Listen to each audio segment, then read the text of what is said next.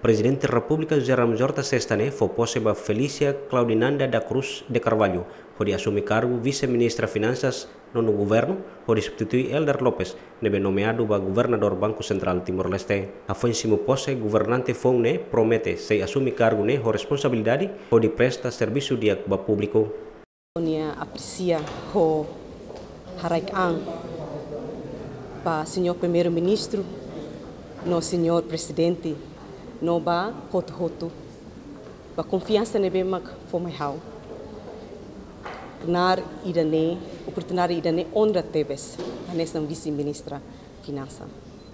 Hau promete para serviço assegura mandato Ministério Finança nian ho liderança excelência ministra ho equipa a Ministério Finança.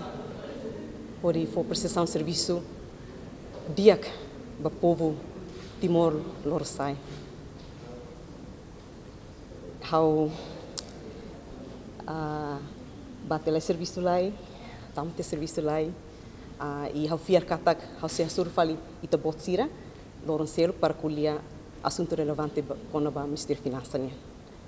Além de se festado mos foi posse ba embaixadora da Huluk Timor-Leste ba ASEAN na Tercia Cipriana Coelho da Silva Agustín Acosta, Costa, Celina López, Ziemen.